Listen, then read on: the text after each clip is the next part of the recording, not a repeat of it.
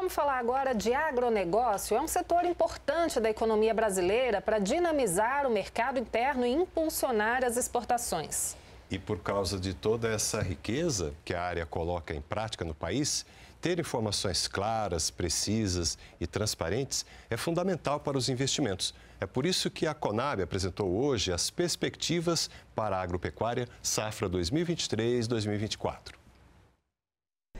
Segundo a Conab, a expectativa é de uma produção recorde de carne bovina, suína e de aves. São esperadas 30,8 milhões de toneladas. E recorde também em exportações, como foi no ano passado. O destaque é a carne de frango, que deve somar 16 milhões de toneladas. Produção de grãos também tem uma projeção otimista. 319,5 milhões de toneladas. Se confirmado, será o segundo maior volume já registrado. A soja deve alcançar novo recorde de produção, 162 milhões de toneladas. Para o milho é esperada uma produtividade menor do que no ciclo passado. Ainda assim, são esperadas 119 milhões de toneladas. O algodão, que sofre os efeitos do El Ninho, deve ficar em 2,99 milhões de toneladas.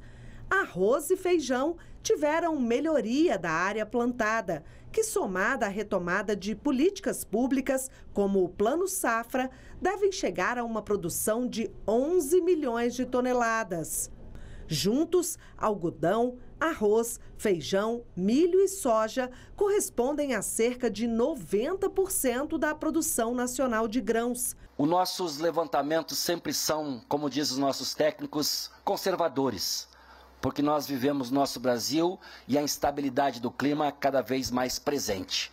Esse levantamento da Conab é uma referência para o país. Ele traz as perspectivas e os desafios da agropecuária desde 2013. Não são 322, 323 milhões de toneladas, que é um número que todo mundo gosta de dizer, é muito talvez mais fácil de dizer, mas veja bem, são mais 550, 600 milhões de toneladas de cana-de-açúcar, são mais 44 milhões de toneladas de frutas, são mais 30, quase 31 milhões de toneladas de carnes. É, só aí já passamos, passamos longe de um bilhão de toneladas produzidas nesse país. Paulo Teixeira, ministro do Desenvolvimento Agrário e Agricultura Familiar, disse que aposta no aumento da produção destinada ao mercado interno para retirar mais uma vez o Brasil do mapa da fome. 400 diferentes alimentos que foram oferecidos para uh, o PA e, ao mesmo tempo, gira renda nas pequenas comunidades eh, indígenas, quilombolas, extrativistas, agricultores familiares e depois destina esses alimentos para aquelas comunidades com insegurança alimentar.